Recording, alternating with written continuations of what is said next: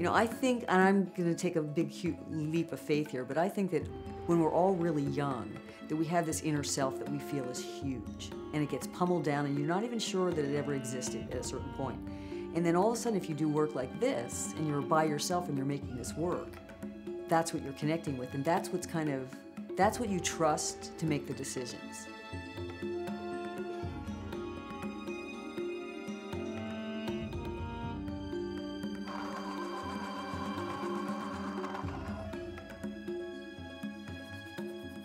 I think the first thing my dad got me some pastels when I was maybe nine or 10. So I started rendering from that and he was interested in art even though he never got to do that. So then he gave me paints and so I just started from that. It was kind of blindly, you know, not in touch with anything, just blindly trying to work with materials and learning about process. That's all it was.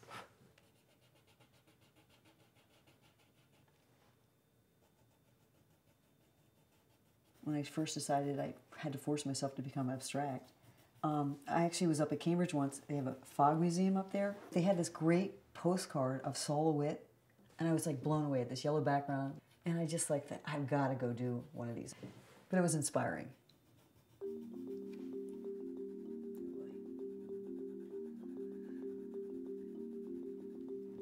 I think the first form I ever gave myself was a triangle. I said, okay, you'll work with upside down U shapes and triangulated forms and, uh, you know, work on paper.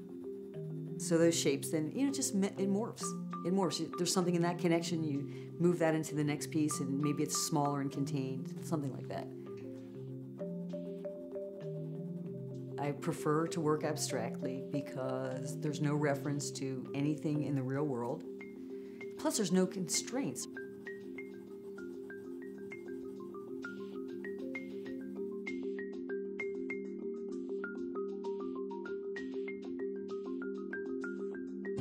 Recently what I've been doing is creating a ground first. And then sometimes I see something in the ground, like some sort of a relationship. It may be that a certain form starts to develop and I, go, and I kind of connect with it and it's you kind of connect back into yourself. I think most artists do that to some extent. And from that point, I try to create relationships to other things.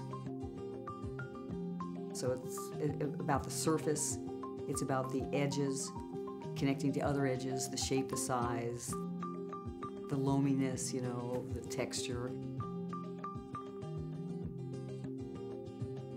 Sometimes um, if I feel like it became too much of a uh, familiar, too familiar as I was working it, you know, I'll, I'll sand it back. I don't want it to be totally familiar. I want to find something new each time I make something. And then I really like it and I'll stick with it. So sometimes I can scrape back what I have and uh, or sand it, and it's not just to get back to something underneath; it's to create something different because you have these different uh, terrains, and when you sand them, one shows through from three layers down, and maybe a little bit from the top layer, things like that. And I think the work is intentionally just about itself, you know, just about what's there on the surface.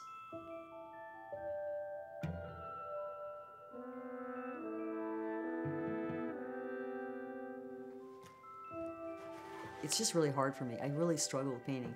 Painting's hard, but once I'm down there, it's the thought of going down and putting myself through that. It's really hard, but once I get myself down there, it's fine. I think it was always abstract in the way I thought about it. Like for instance, even when I was trying to learn how to paint, I thought, okay, now let's move on to lighting and let's like focus on that. And then it was, you know, my brushstrokes were always kind of expressionistic, know, it was really abstract. I think I thought that way. And I was really interested in it. That's, I just felt I'd be comfortable in that world, and I am. Okay, what keeps people making art? I think what it is is I think it reinforces your existence, don't you think? You know, I'm not supposed to you. You're not there. I'm here. Oh, wasn't there a book about that?